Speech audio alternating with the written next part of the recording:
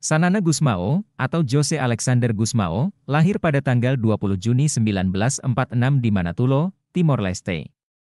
Ia merupakan tokoh yang sangat berpengaruh dalam perjalanan sejarah Timor Leste, sebuah negara yang sebelumnya menjadi bagian dari Indonesia selama 24 tahun sebelum meraih kemerdekaannya secara resmi pada tanggal 20 Juni 2002, Sanana Gusmao dikenal dengan sebutan Keirala Sanana Gusmao, sebuah gelar yang diberikan dengan penuh rasa hormat.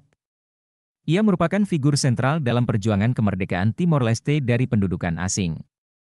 Sebagai seorang pejuang dan pemimpin politik, Sanana Gusmao memimpin gerakan perlawanan dan menjadi simbol perjuangan rakyat Timor Leste dalam memperoleh kemerdekaan.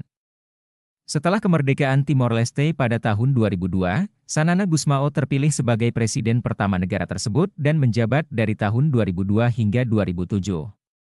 Selama masa jabatannya sebagai presiden, ia berperan penting dalam membangun institusi negara, menjaga stabilitas politik, dan memperkuat hubungan internasional Timor Leste. Pada tahun 2007, Sanana Gusmao kemudian menjadi Perdana Menteri Timor Leste.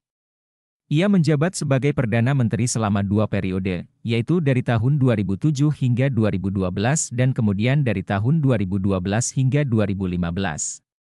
Selama masa kepemimpinannya, ia fokus pada pembangunan ekonomi, peningkatan kualitas pendidikan, pengembangan infrastruktur, serta memperkuat kestabilan politik dan keamanan di negara tersebut.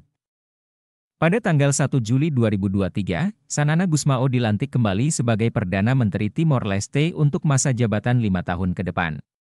Penunjukan kembali Sanana Gusmao sebagai Perdana Menteri menunjukkan kepercayaan yang diberikan oleh rakyat Timor Leste terhadap kepemimpinannya dan pengalamannya dalam memimpin negara, sebagai seorang pemimpin yang berdedikasi, Sanana Gusmao telah berperan penting dalam memajukan Timor Leste dan memperkuat kedaulatan negara tersebut.